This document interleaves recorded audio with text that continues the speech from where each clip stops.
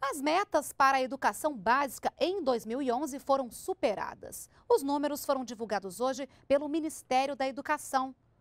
E é de lá que a gente fala ao vivo com a repórter Ana Gabriela Salles. Ana Gabriela, boa noite.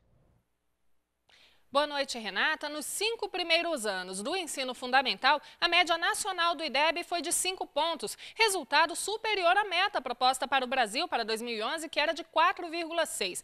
Os estados de Minas Gerais e Santa Catarina foram os que se destacaram com a maior nota do país nessas séries iniciais. Para o Ministério da Educação, um dos principais fatores que levaram à superação da meta foi a ampliação do tempo de estudo no ensino fundamental de 8 para 9 anos. Bom, nos anos finais do ensino fundamental, ou seja, do sexto ao nono ano, o IDEB atingiu 4,1 pontos, também superando a meta prevista para 2011. Já o ensino médio alcançou a meta nacional de 3,7 pontos no IDEB, mas poucos estados chegaram a superar esse limite, bom, essa meta, a sobrecarga dos estudantes foi um dos pontos considerados pelo ministro da Educação, Aloysio Mercadante, que considerou esse um dos principais desafios. Ele falou sobre as soluções previstas para melhorar o desempenho do ensino médio.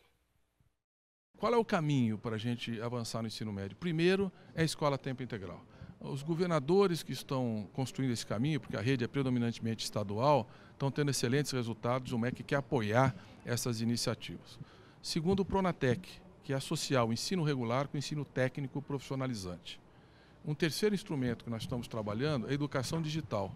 É usar a internet, usar o computador, usar o tablet para dar novos instrumentos para os professores que muitas vezes não têm formação específica na disciplina que eles dão, especialmente matemática, química, física, para que eles possam melhorar a qualidade do ensino e, com isso, melhorando a qualidade das aulas, estimulando o ensino técnico profissionalizante avançando na escola a tempo integral, nós acreditamos que teremos resultados cada vez melhores para o ensino médio.